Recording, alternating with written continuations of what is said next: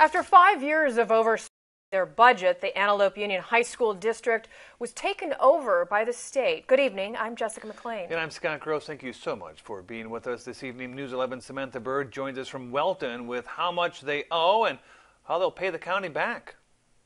At this week's Arizona State Board of Education meeting, the board unanimously voted to put Antelope Union High School District into a receivership in order for them to pay back their $1 million debt.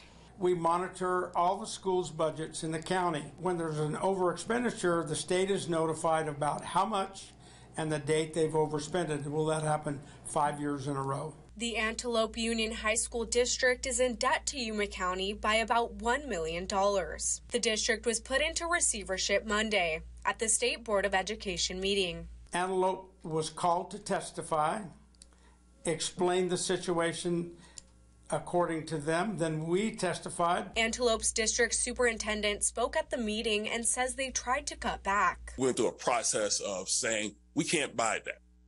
And we didn't just do it in a vacuum we set our staff down and we told them, we have an issue here.